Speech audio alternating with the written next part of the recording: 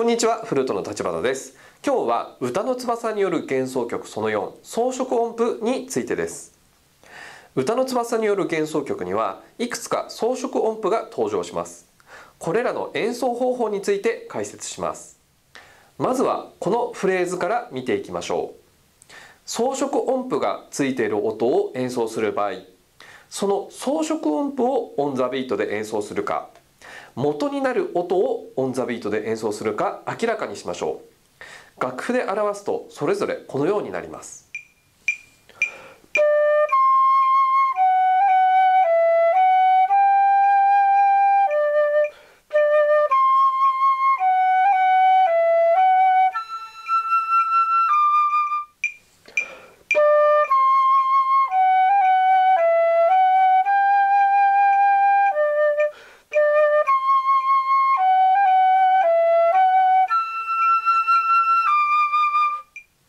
パターン A は B よりも旋律が柔らかい印象になります。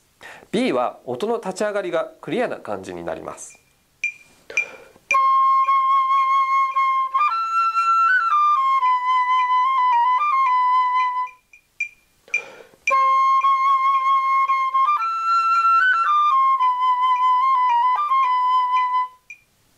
ソロの曲に限らずブラスバンドなどの合奏やアンサンブルにおいて奏者の間でこの装飾音符の取り方が統一されていると合奏のクオリティをより高めることができます。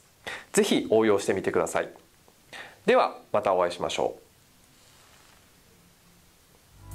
メルマガでは皆様からのフルートに関する疑問や質問などを募集しています。パソコンの方はこちらの登録ボタンかタブレットやスマートフォンの方は下の動画説明欄から登録できますので是非クリックしてみてください。たくさんの投稿お待ちしております。